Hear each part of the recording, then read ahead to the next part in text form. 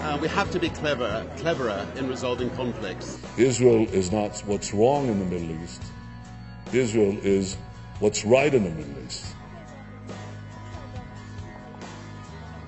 The best solution is to organize a free and fair elections inside Syria.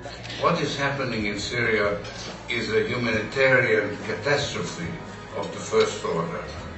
The Security Council, which has historic and special responsibility for peace and stability on our planet, I think has failed shamefully. We need a ceasefire.